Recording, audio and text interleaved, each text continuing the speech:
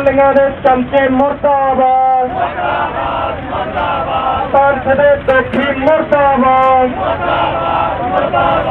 ਅੱਜ ਸ਼੍ਰੋਮਣੀ ਅਕਾਲੀ ਦਲ ਬਾਦਲ ਵੱਲੋਂ ਮੋਗਾ 'ਚ ਕੀਤੀ ਗਈ ਰੈਲੀ ਦਾ ਵਿਰੋਧ ਕਰ ਰਹੀਆਂ ਜਥੇਬੰਦੀਆਂ ਦੀ ਪੁਲਿਸ ਨਾਲ ਝੜਪ ਦੌਰਾਨ ਕਈ ਵਿਅਕਤੀਆਂ ਦੇ ਜ਼ਖਮੀ ਹੋਣ ਦੀ ਖਬਰ ਹੈ।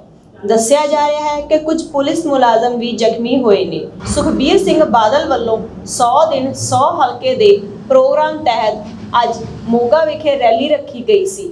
ਇਸੇ ਦੌਰਾਨ ਕੁਝ ਜਥੇਬੰਦੀਆਂ ਨੇ ਅਕਾਲੀ ਰੈਲੀ ਦਾ ਵਿਰੋਧ ਕਰਦਿਆਂ ਪ੍ਰਦਰਸ਼ਨ ਕਰਨ ਦੀ ਕੋਸ਼ਿਸ਼ ਕੀਤੀ ਗਈ ਸੀ। ਪੁਲਿਸ ਵੱਲੋਂ ਕੀਤੇ ਗਏ ਸਖਤ ਸੁਰੱਖਿਆ ਪ੍ਰਬੰਧ ਦੌਰਾਨ ਪ੍ਰਦਰਸ਼ਨਕਾਰੀਆਂ ਨੂੰ ਰਸਤੇ ਵਿੱਚ ਹੀ ਰੋਕਣ ਦੀ ਕੋਸ਼ਿਸ਼ ਕੀਤੀ ਗਈ, ਜਿੱਥੇ ਪੁਲਿਸ ਦੀ ਪ੍ਰਦਰਸ਼ਨਕਾਰੀਆਂ ਨਾਲ ਝੜਪ ਹੋ ਗਈ।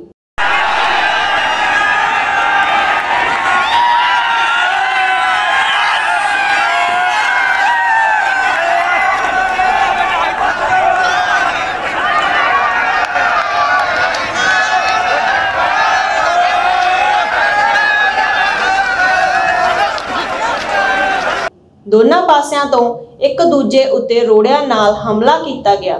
ਪ੍ਰਦਰਸ਼ਨਕਾਰੀਆਂ ਵੱਲੋਂ ਪੁਲਿਸ ਤੇ ਪੱਥਰਬਾਜ਼ੀ ਕੀਤੀ ਗਈ ਅਤੇ ਪੁਲਿਸ ਵੱਲੋਂ ਵੀ ਪ੍ਰਦਰਸ਼ਨਕਾਰੀਆਂ ਤੇ ਪੱਥਰਬਾਜ਼ੀ ਕੀਤੀ ਗਈ।